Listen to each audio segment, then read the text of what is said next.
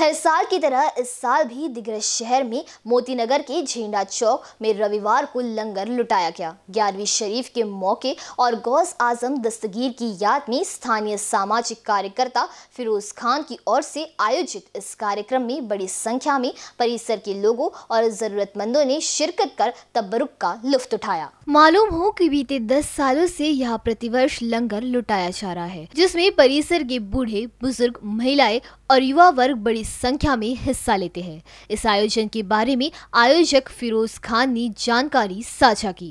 पिछले दस साल से हम प्रोग्राम कर रहे हैं और मेरे जो यंग जनरेशन के लड़के हैं यंग दोस्त मेरे, वो सब मेरे को सहकार्य करते हैं इसके अंदर। और ये जो ग्यारहवीं शरीफ का महीना है, गौतम दस्तगीर, हमारे बुज़ुर्ग, गौतम दस्तगीर के याद में लुटाया जाता है।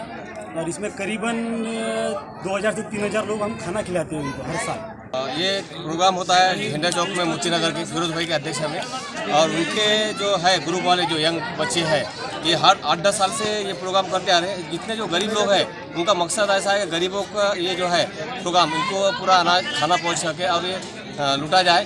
गौसपाक के इस पर ये न्यास का प्रोग्राम होता रहता है हर साल।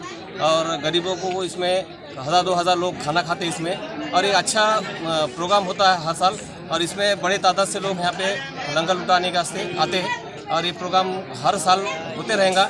ये मैं दुआ करूँगा। कार्यक्रम को कामयाब बनाने के लिए युवा वर्ग का योगदान बहुत महत्वपूर्ण है, क्योंकि यहाँ बड़े पैमाने पर न सिर्फ़ लोगों को खाना खिलाया जाता है, बल्कि युवाओं की एक टीम आसपास के उन जरूरतमंदों तक भी खाना पहुँचाती है, जो किसी वजह से इस कार्यक्रम में पहुँच नहीं पाते हैं। गौरतलब है कि इस कार्यक्रम में महिलाओं के लिए खाने का अलग से इंतज़ाम किया जाता है। बहरहाल, हर साल की तरह इस साल भी रविवार को आयोजित हुए इस कार्यक्रम में परिसर के लोगों ने और जरूरतमंद बंदों ने बढ़ चढ़कर हिस्सा लिया।